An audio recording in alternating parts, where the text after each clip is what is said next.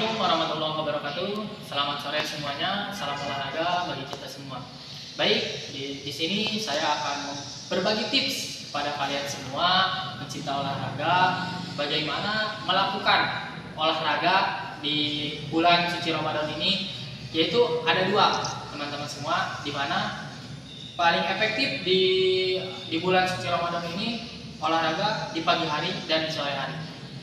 Yang pertama di pagi hari. Kenapa kita melakukan olahraga di pagi hari? Yang pertama, energi kita masih terkumpul setelah kita sahur, makan dan segala macam, energi kita masih kumpul dan efektif untuk berolahraga di jam 6 pagi sampai jam 8 pagi itu masih benar-benar efektif dan energi juga masih benar-benar terkumpul. Dan yang kedua, ada di sore hari. Kenapa di sore hari?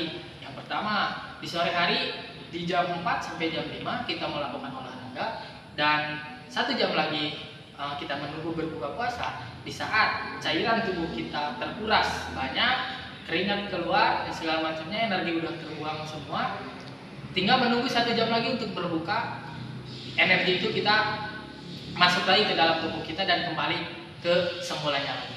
Nah, mungkin sekian dari saya tips yang saya berikan ke teman-teman semua pencinta olahraga di tanah air ini. Semoga bisa bermanfaat untuk kalian semua. Sekian, terima kasih. Assalamualaikum warahmatullahi wabarakatuh.